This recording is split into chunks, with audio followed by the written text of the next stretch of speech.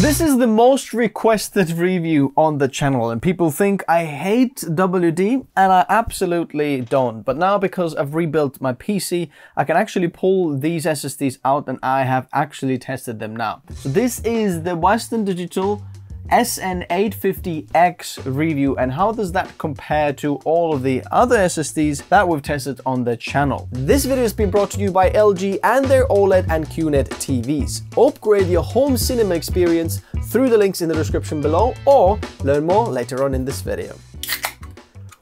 Oh. Oh, this is good. Smell this. That is so nice.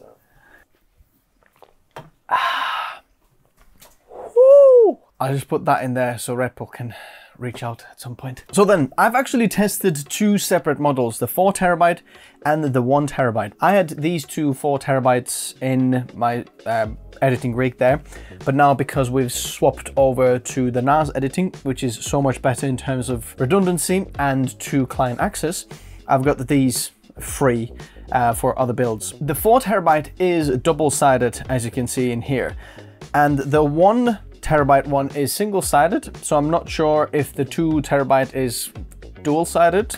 I think the two terabyte would be dual-sided as well, but could not be because as you can see there is four chips on the four terabyte one, which would kind of mean that the two terabyte one could only have them on one side. I don't know. I'm just telling you what I know. The awesome bit about these WD SN850X SSDs is that they're often on a very, very good sale. Check out the links in the description below because when I bought them, I got incredible deal of them. Don't just buy this. Just check out the chart and then make your decision. But let's check out the performance then. Firstly, the sequential read and write speed. So the orange bit or line is obviously our SSDs that I have tested. So we're looking at sequential read first, and here you can see that it's slightly off the top of the chart, but as you can see, when we get above 6.9 gigabytes per second, 6,660 megabytes per second, there is really no difference between like the best what we have is Solidigm P44 Pro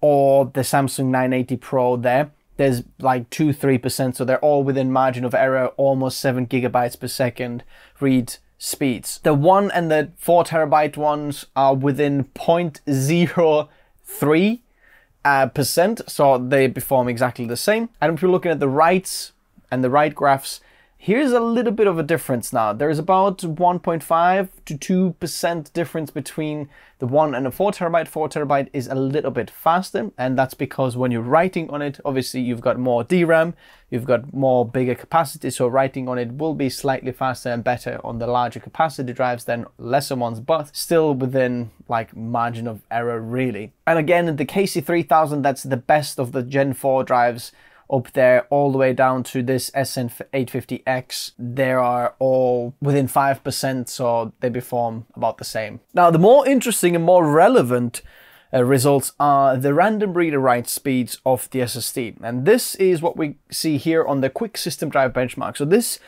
benchmark test the drive of lots of random little files all over the place. So the drives that perform well in this test are good for a secondary drive that you don't use so heavily. So you're not running a full uh, you know, operating system or programs on it, but you're just opening documents and perhaps loading a game here or there or opening some photos or doing light tasks on the secondary drive. And here you can see they perform very, very well. Interestingly, the Western Digital SN770M, this tiny little SSD here, is actually performing a little bit faster in this test than the SN850X, which is fascinating. Couple percent better, but we're on the top of the best Gen 4 drives. Now, I have found that the Solidigm P45 Pro are quite a bit better there, actually about 12% better, which is actually an increase that you can see. You can see that on the graph there as well. There is a bit of a jump, but this performs roughly in the same ballpark as the KC3000, Kingston Fury Renegade,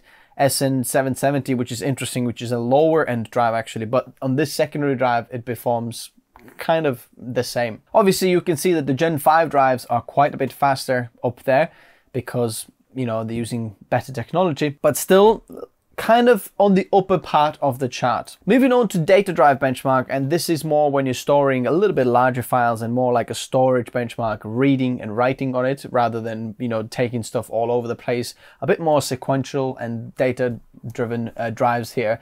We can see that we're roughly in the middle of the park. The one and the four terabyte one don't seem much different from each other. We're about the same as the Kingston FireCuda 530 which is very interesting. The Solidigm P44 Pros and the Samsung 990 Pro are a little bit faster, up to 9% faster on the top of the chart in terms of the data drive, but still pretty impressive speeds on these, like nothing bad to say. You can see that the KC3000 there is performing the same as this SN850X, but this SN850X is often on a much better deal, so check out the links in the description below. I'll try to leave as much as I can in the description below so you can actually like check them all out, what I'm talking about, then check the different pricing. But seems like the WD Black is a little bit of a better option. Hey, let's briefly talk about today's video sponsor, LG, and their OLED TVs and why they are so special. Firstly, LG's award-winning TVs aren't just slim and sleek. The overall picture quality is second to none. OLED provides you the ultimate experience in color,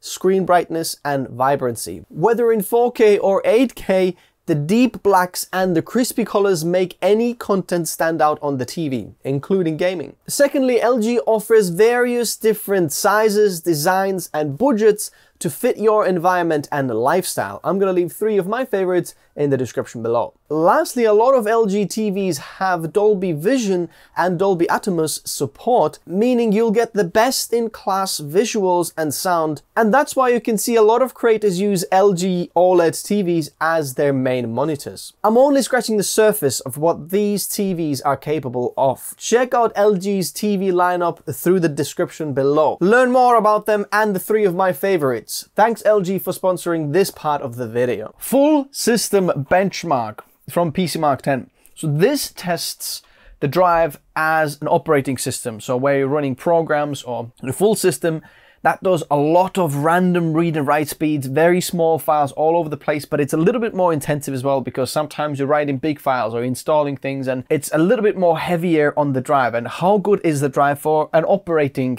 drive? So the drives that perform better on this test are better for your operating system, faster, and so on. Here, the SN850X is right there on the top of the Gen 4 drives. As you can see, the KC3000 is now a little bit further down. The Samsung 990 EVO and 990 Pro are a little bit faster, a couple of percent faster. But then the Solidigm P44 Pro 2TB and 1TB ones are up to 10% faster. So as you can see, there's not that many drives that are faster than this SN850X. Interestingly, the 1TB one performs like within 1% faster a little bit, which shows that they're both exactly the same. And even if you get the 1TB one, it's a very good OS drive. That's what I had. But now when we rebuilt our editing uh, PC, I actually put the Solidigm P44 Pro 2 terabyte drive in there because I had to choose a drive that I have multiples of and because I did have two of these Solidigms, I was using that as my operating system drive, which seems to be the best Gen 4 NVMe drive that you can get. I'll try to leave that in the description below as well. As you can see, some of the other drives in this list are a little bit further down and slowly go lower and lower down. And as you can see, some of them are a lot more expensive, like the FireCuda 530. I know they have higher TBW rating, but it's still interesting that this SN850X performs so well compared to some of the more expensive drives, if that makes sense. Now, next off, drive consistency test. And this tests the drive in an absolutely insane environment. Let's say for some people who use a drive in a very intense way of a lot of write, a lot of write, like this test writes over 20 terabytes on it, fills the drive extra couple of times, and uh, lasts about 20 hours. The drive is absolutely peaked, and the drives that perform better in this test are drives that are for people with very insane and very specific workflows.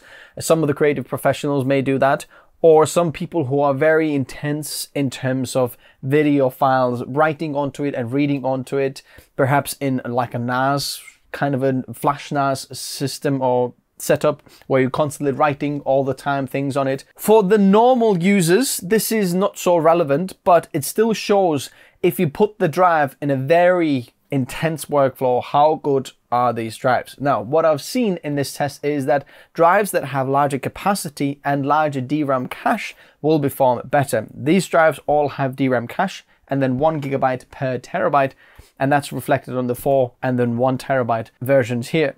The SN770M doesn't have DRAM cache, for example, and here you can see that it does actually impressively well compared to the SN850X that is only like within margin of error, within 1% of the performance. So that makes the SN770M or the SN770, obviously the M means that this is the 2020-30 version of this drive. You can get the full length of it as well. But that feels like a very, very good option if you want to save a little bit more budget but the SN850X 4TB version is right on the top there next to the Verbatim VI 7000G, which is a very surprising result actually there. I'm not sure why that performed so well. The FireCuda 530 and the Samsung 990 Pro are a little bit higher, but interestingly now we're beating slightly the Solidigm P44 Pro and the Samsung 980 Pro, but as you can see, we're right on top of the charts. Impressive results. But the more expensive KC3000 from Kingston is quite a bit better. Interesting. I don't know exactly why, but that's quite a big difference between this and the Kingston KC3000, about 17%. As you can see, big gap in the chart there. But the Kingston also has 700 TBW rating, which lets you write a lot more and has a bit better longevity of the drive and is quite a bit more expensive as well.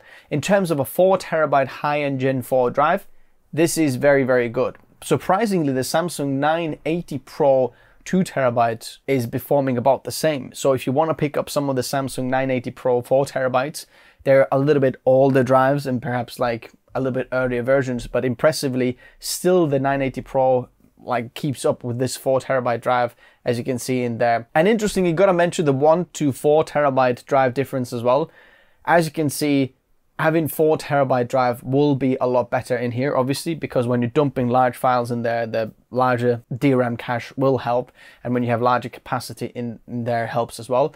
But for most people, uh, when you're having editing video, something like that, you're not writing, I don't know, a couple of terabytes on it.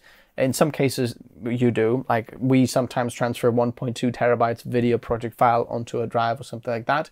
Then perhaps this might be a bit relevant for you. And if you don't want to wait for the drive a little bit longer because the one terabyte will start to slow down a little bit after a while, but then the four terabyte will be able to keep it up a little bit longer. As you can see here, we're getting 40 plus almost double the performance on the four terabyte in terms of this test here compared to the one terabyte one. One more thing to talk about is the TBW rating, which is terabytes written spec. The higher the number is, the longer the longevity of the drive basically is, and the more it allows you to write large files on it. Now, this is the very industry standard, what we can see across Samsung and WD, they all have 600. It's not higher. Kingston KC3000, for example, has a little bit of a higher spec in there. Uh, Solidigm has a little bit higher on the one terabyte one, but then about the same for the two terabyte one. So that evens out there. Some of the Gen 5 drives are a little bit higher and so on. And some of the Gen 4 drives are extremely high, like the Sabrent Rocket 4.0 and the Cardea Z440 are extremely high in the terabyte written spec. Perhaps good to use in a NAS scenario or something like that. When you run them in RAID and you're doing a lot of writes on it, it should last a little longer. So in conclusion, should you be buying the SN850X? Depends what you're buying this SSD for. Is it OS drive? Is it project drive? Is it cache drive? Is it programs drive? Is it for an, SSD's RAID system? That all depends. And I highly recommend checking out the pricing compared to the other charts and then look at the relevant benchmark that I just showed you. If you're just a secondary drive, you know, there's a little bit cheaper options out there. I'd go with the SN770, for example. If you're looking for a project drive or operating system drive, then perhaps, yeah. But I'd highly recommend checking out also the other drives in there, like the Solidigm um, has been like one of my favorites in a lot of these things just for the price to performance ratio and how well it performs. I'm super impressed. So I'll leave the links in the description below. You check them out and then you choose the one for you. If you do want to reach out to me, you can reach out on Minnect and I'll get back to all of my messages on Minnect. Thanks guys for watching and I'll see you soon. Bye bye.